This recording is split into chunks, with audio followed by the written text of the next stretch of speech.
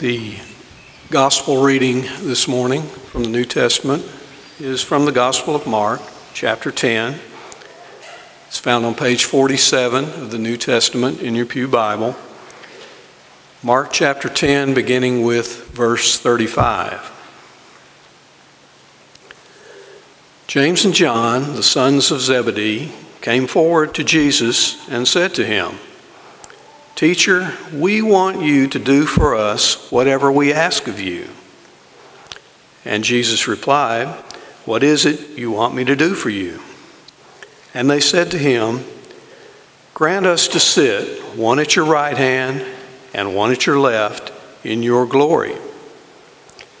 But Jesus said to them, You do not know what you are asking. Are you able to drink the cup that I drink? Or be baptized with the baptism that I am baptized with? They replied, We are able. Then Jesus said to them, The cup that I drink, you will drink, and with the baptism with which I am baptized, you will be baptized.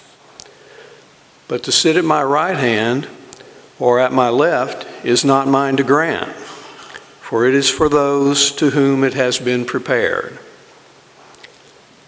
When the other ten disciples heard this, they began to be angry with James and John. So Jesus called them all together and said to them, You know that among the Gentiles, those whom they recognize as their rulers lord it over them, and their great ones are tyrants over them. But it is not so among you. For whoever wishes to become great among you must be your servant. And whoever wishes to be first among you must be slave of all. For the Son of Man came not to, be, to minister, for the Son of Man came not to be ministered unto, but to minister, and to give his life a ransom to many.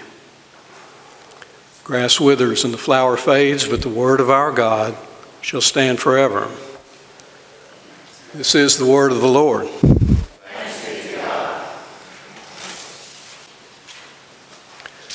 As we uh, begin to explore God's Word this morning, I would ask you to please pick up your copy of today's bulletin. Look at the cover page and on the right side of the cover page, you will see that all members of the church family are listed as ministers of Northside Presbyterian Church. It may be that you have noticed this designation before, or it may be that you are seeing it for the first time. How does it make you feel? I'm a bit apprehensive about being in this pulpit this morning, but do each of you actually consider yourselves to be ministers of God's church here at Northside? As we continue in our journey through the Gospel of Mark, we can see that there was indeed much apprehension also among Jesus' disciples concerning their perceived roles in his coming kingdom. In chapter 9, we found the disciples debating the issue of whom amongst them should be considered the greatest. Showing much restraint and patience, Jesus explains to them that one must be willing to go to the end of the line to become greatest in the kingdom of God.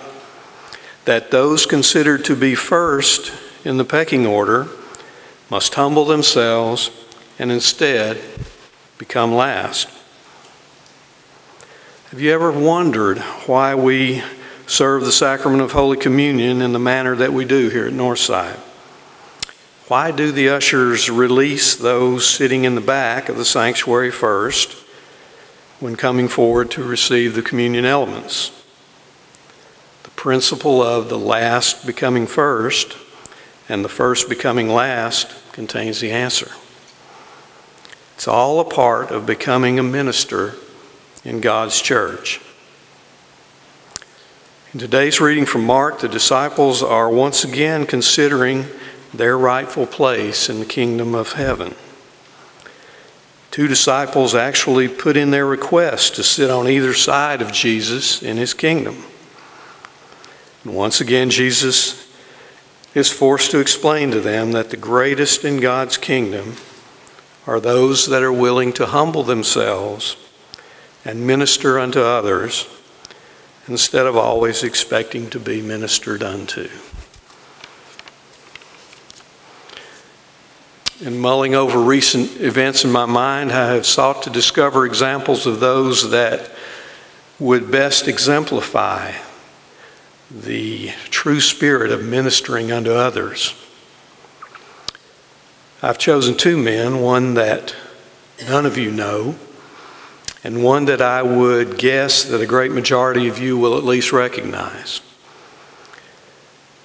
If you'll bear with me a minute, we'll explore what can be learned from the lives of these two men and how we can apply those lessons to our own ministry here on earth.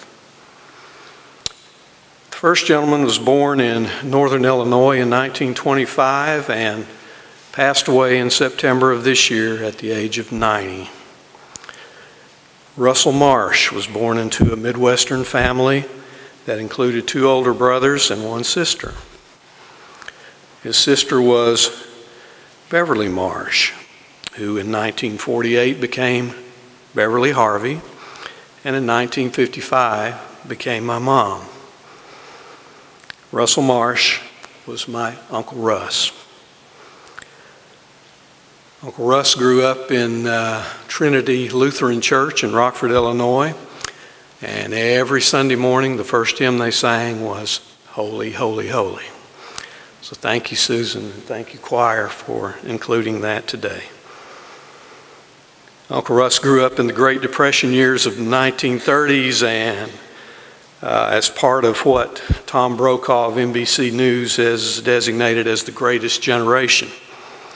He was drafted into military service after the outbreak of World War II, and he became a member of the U.S. Army Air Forces.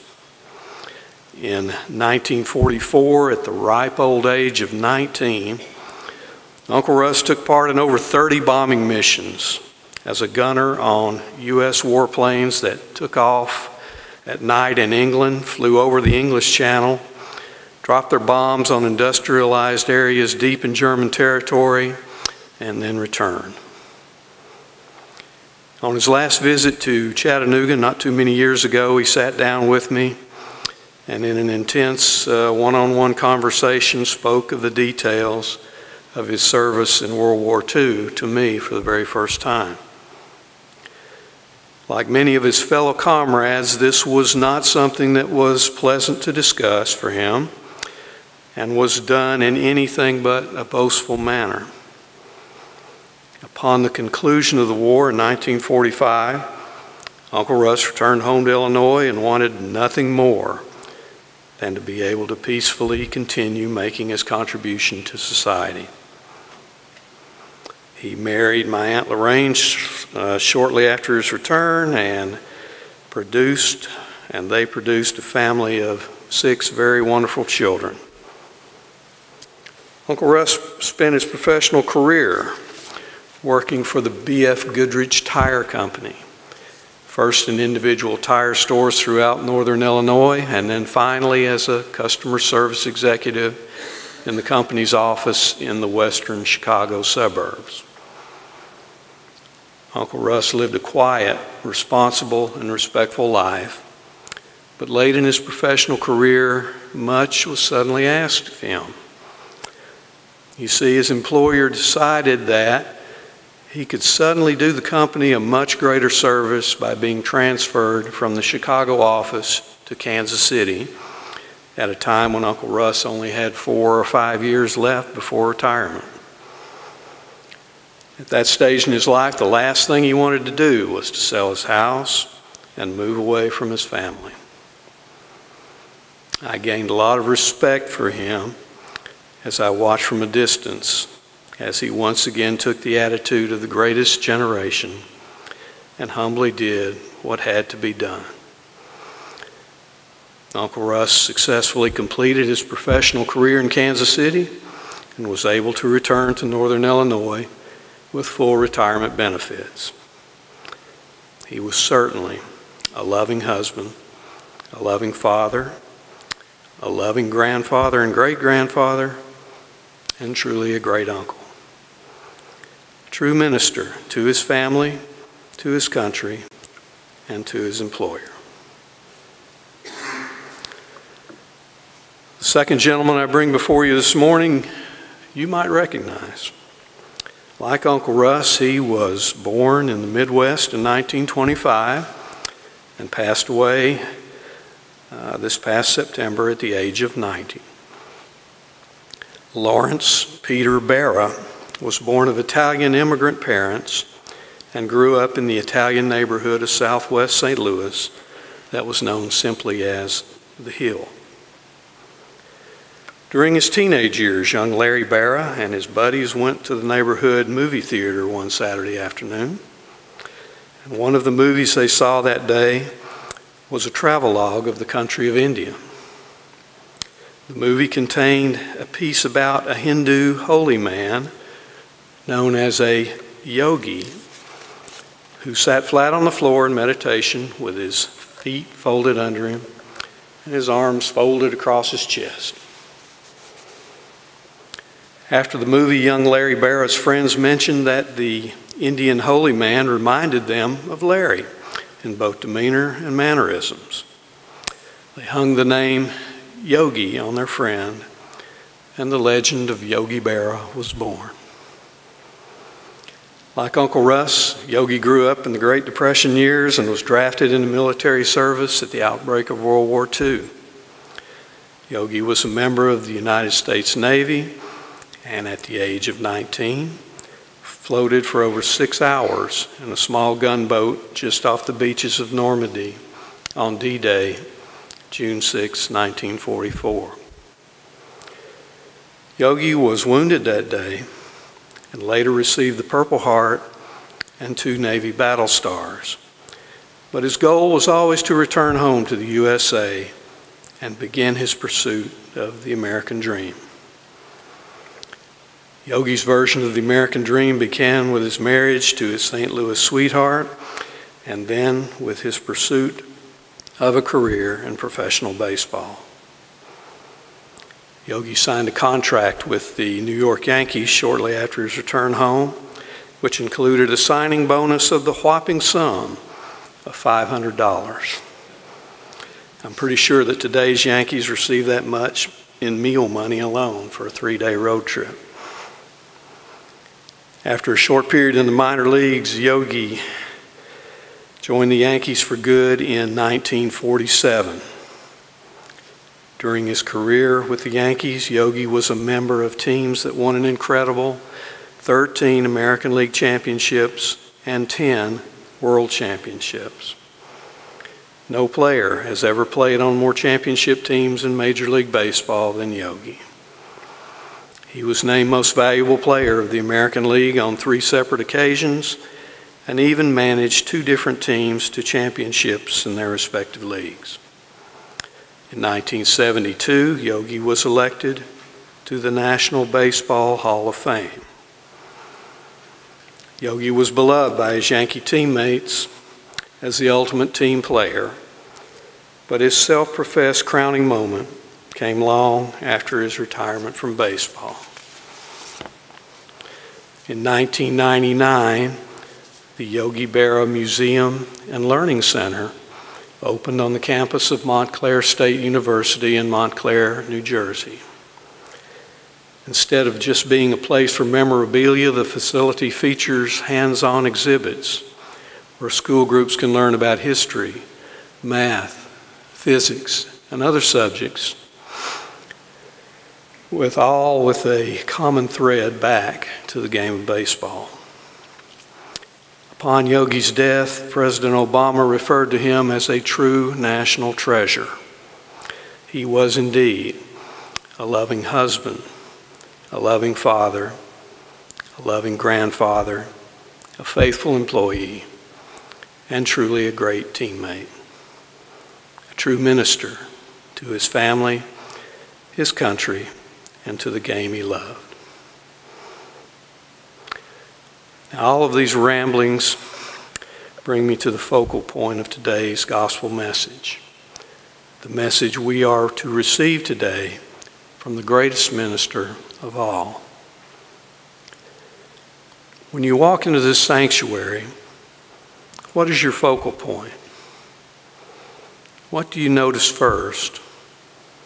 What demands your attention? I hope your answer would be the beautiful cross that adorns the front wall. On Sunday mornings when the weather is good, it's a little chilly to do this this morning, but when the weather's good, I love to open the middle doors of the sanctuary early in the morning and then open the front doors of the church and walk out to the sidewalk in front of the building. As Susan begins to practice the musical pieces for the day's service, I hope each time that someone on the sidewalk will stop, hear the music, and see the cross through the open front doors. A big part of Northside's ministry to this neighborhood is making the good news of the gospel of Jesus Christ available to all. You've heard the following words spoken many times from this pulpit, but they definitely bear repeating. You heard John 3:17 in today's assurance of pardon. For God the Father sent not his only son into the world to condemn the world, but instead so that the world might be saved through him. And when God the Father sent his only Son into the world, Jesus Christ died for us on this cross.